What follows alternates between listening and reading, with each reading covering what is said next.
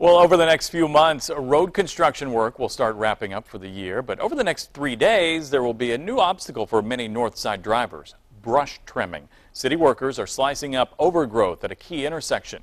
RTV6 reporter Norman Cox has what you'll need to know. If you use the interchange here at Keystone and 86th Street over the next three days, you're going to see a lot of chopped up foliage along the ground. The Department of Public Works is chopping up trees and other foliage which has grown out over the highway.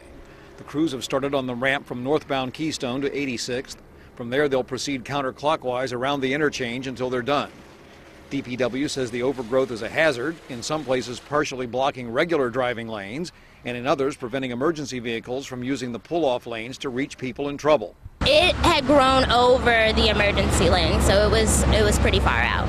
How many people you got working here? About 20 workers out today. How long is it going to take? They're expecting about three days. Crews will work from 9 a.m. to 2 p.m. to avoid obstructing rush hour traffic.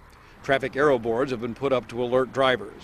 Although the plan is to allow drivers to pass the work crews continuously, there may be some points when traffic must be completely shut down for brief periods. Right now, things don't look too abnormal, but at some point the crews will switch sides, and at that point, drivers will have to move over here to what's normally the emergency pull-off lane. And at that point, DPW says you should really start being careful. On the north side, I'm Norman Cox, RTV6.